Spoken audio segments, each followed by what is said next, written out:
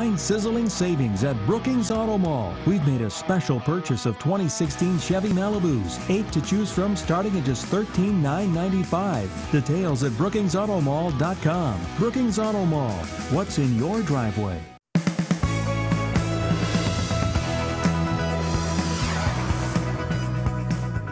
This morning, shoppers in KELOLAND bolt to the stores over the weekend. How concerns over the coronavirus are creating a shopping cart contagion.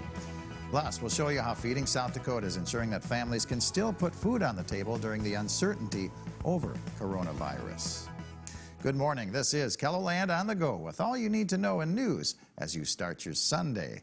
But first, let's get a check on the forecast with meteorologist Adam Root in the Storm Center. Good morning, Adam. Good morning, Perry. It's a better start to the day compared to what we had Saturday morning. We're not dealing with snow or treacherous road conditions, but we'll have cloud cover that we'll have to contend with today. It's still a seasonable day overall. Upper 30s in eastern KELOLAND, low to mid 40s along and West River. Staying mainly dry, not just today, but also tomorrow for that matter. A renegade shower or two not out of the question. On Monday, also the milder of the two days, especially in southeastern KELOLAND, getting into the mid 40s, upper 30s and low 40s elsewhere. Tuesday, though, easily the pick day of the week before we keep a very close eye on what could be a messy second half of this upcoming work week.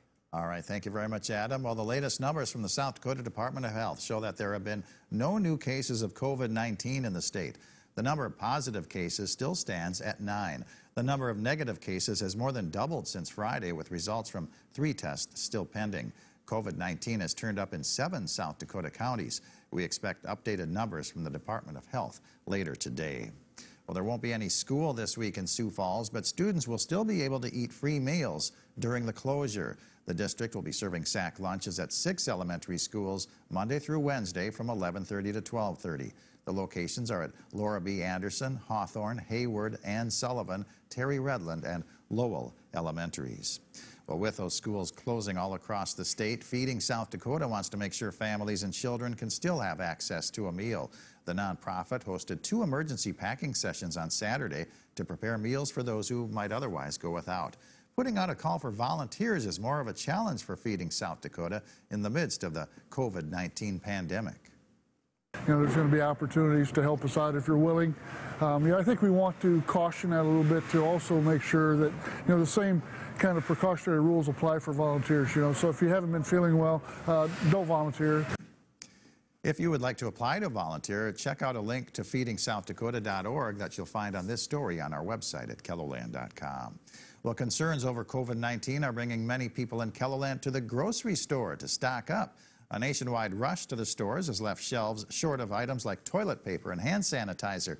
But shoppers in Sioux Falls say they're not panic buying at this point, although some aren't exactly why they're on a shopping spree in the first place and I stocked up on toilet paper, but like I say, I don't know why. It just seems the thing that people are grabbing. But Mayor Paul TenHaken says there's no reason for anyone to hoard items. He says it's a good idea, though, to make a grocery run for your neighbor who might not be able to get out. Several KELOLAND churches have canceled services today because of the threat of coronavirus. You can find out if services have been canceled at your church by going to our clothesline at keloland.com. And if you can't make it to a church in person, you can attend from your living room instead. KELOLAND TV broadcasts Mass every Sunday morning at 10 o'clock. You can also watch a televised worship service from Bethany Mennonite Church in Freeman at 4 o'clock on My UTV. Adam? Well, we have cloud cover on the way as we head through the day on Sunday, especially the further east you go. But we have a weak cold front that's going to make its presence known, not really in the form of rainfall, let alone snow, but a change in our wind direction. Comes out of the northwest, and that's what happens east River. We have a fantastic start to the day with plenty of sunshine on the round.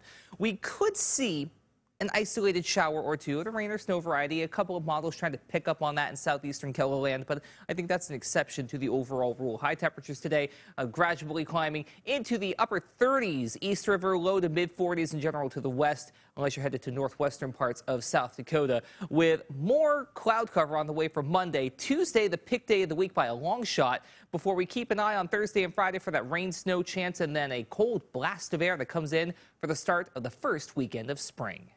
Well, thank you for joining us for KELOLAND on the Go. You can get up to the minute developments right here on KELOLAND.com. Have a great day.